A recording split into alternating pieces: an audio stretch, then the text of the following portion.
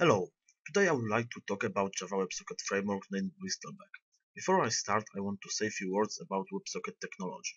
WebSocket standard was created to provide fast, bidirectional, and low latency communication channel between browser and web server. The WebSocket has its own protocol based on traditional TCP, although initial connection is made using HTTP request. Bristleback framework consists of two parts, Java server-side powered by Spring Framework and JavaScript client. Bristleback allows you to choose from Apache Tomcat, Jetty or Netty as WebSocket protocol implementation. I will show you how to write, build and run some simple WebSocket application using Bristleback framework. The fastest way to create and run Bristleback web application is to use our Maven archetype. Let's copy archetype generate command from Bristleback website, run it and pass additional information about the project. A basic web application has been created. Let's open it. Now let's take a quick look at the main configuration files, starting from POM.xml. Here we can see Bristleback and Spring dependencies. In web descriptor file there is Spring Dispatcher Servlet, which is used to handle WebSocket requests. And the last one, Spring Application Context file.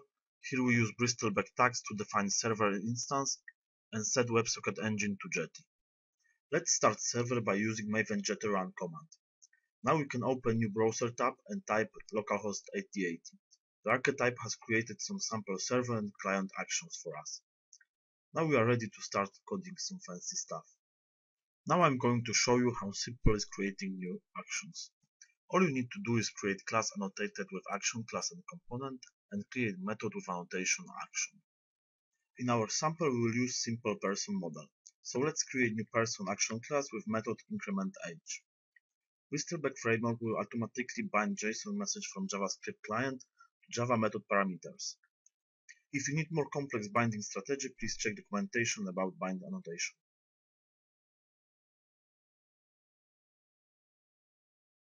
Also, framework will automatically bind value returned by method to JSON and send it to JavaScript client.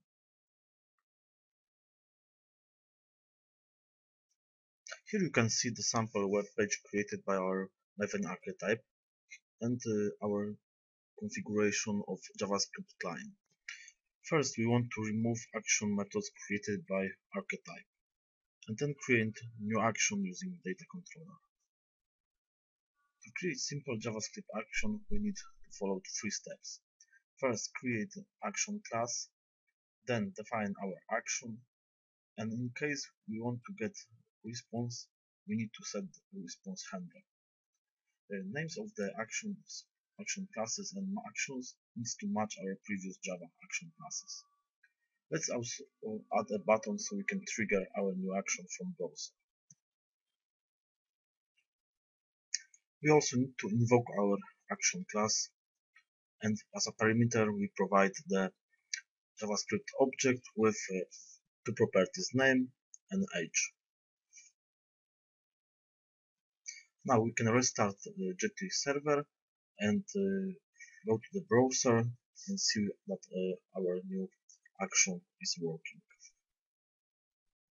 One of the biggest benefits of WebSocket standard is sending events from server to browser client. Bristleback implements that mechanism by client actions. Let me show you an example. Let's change our increment age action to invoke event on all connected clients. Now our method will return void and new client action will be invoked. All you need to do is uh, use another set of annotation named the client action class and client action. This time method parameters are going to be serialized to JSON and message recipients are specified as object returned from action method.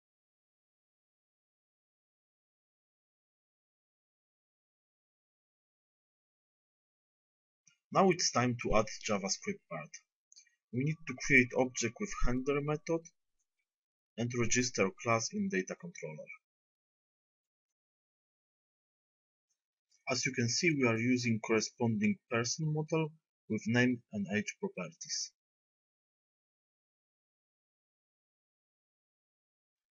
Let's restart Jetty server and connect from two browser tabs.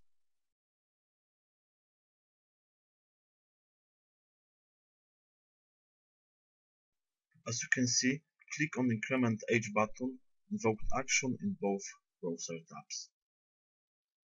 That's all for now. I showed you only small piece of all features. I hope that this presentation made you curious about Bristleback. You can further test Bristleback in action by visiting our samples applications. For more detailed information and documentation, please visit our homepage bristleback.pl and our GitHub project.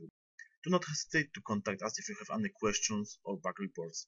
You can do it by writing a mail to bristleback at bristleback.pl, creating news on GitHub, or posting on our forum. Thanks you for watching.